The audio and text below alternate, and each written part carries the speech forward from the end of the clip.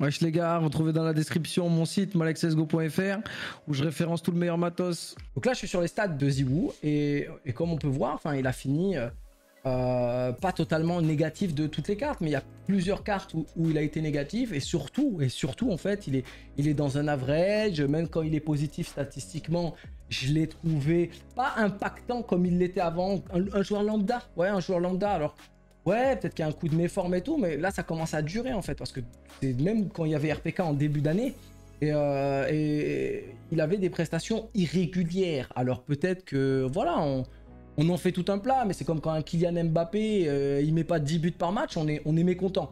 Peut-être qu'on est trop exigeant envers lui parce qu'on attend de lui que ce soit une superstar, on attend de lui que ce soit un surhomme et donc qu'il fasse des prouesses à chaque round.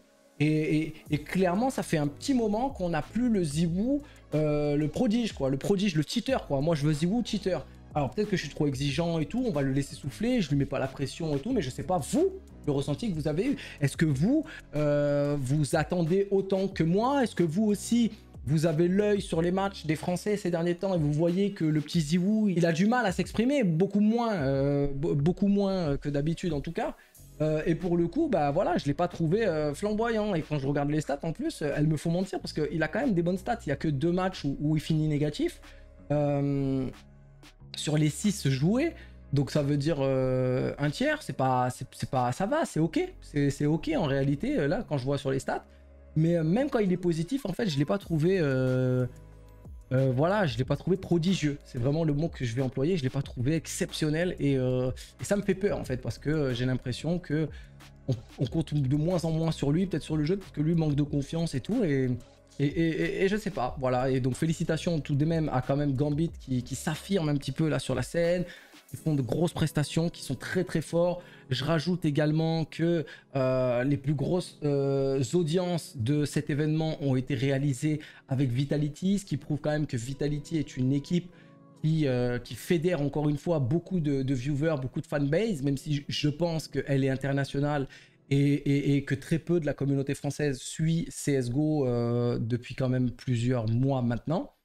Euh, mais ça reste quand même l'équipe qui a été le plus regardée. C'est aussi pour moi, j'ai envie de dire, si vous pouvez me le permettre, que euh, même si Gambit est l'équipe numéro 1 mondiale, même si Gambit gagne euh, la finale encore une fois, Gambit n'est pas une équipe qui fédère de la fanbase. Pas des fans absolus en mode Ah, Shiro, pète-moi le cul, ton sniper est incroyable. Voilà, on n'en est pas là. On n'en est pas là quand on regarde du, du Gambit. On n'est pas là encore une fois à crier et à se mettre dans tous nos états.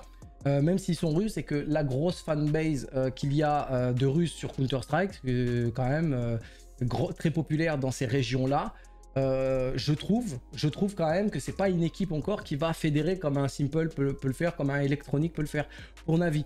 Et donc, il y a un manque, il y a un petit manque de, encore une fois, de, de, de, show, de spectacle sur CS, parce qu'on voit que les, les audiences dépendent encore une fois des grosses stars comme peuvent l'être Shox, Ziwoo, Apex, euh, RPK quand il était là et tout.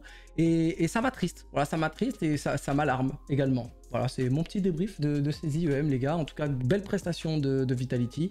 Dans l'ensemble, vraiment, c'était super, euh, super correct. Je trouve que top 4 sur un gros événement comme ça, en battant du, Gambit et tout, euh, c'est vraiment très propre, très encourageant. Félicitations à tous les joueurs. Je vous aime. Un petit like, un petit commentaire. On s'abonne. On achète le matos sur mon site internet malexesgo.fr et on achète ces skins hein, sur Skin Baron dans la description pour toucher la petite commission qui me, fait, qui me met bien.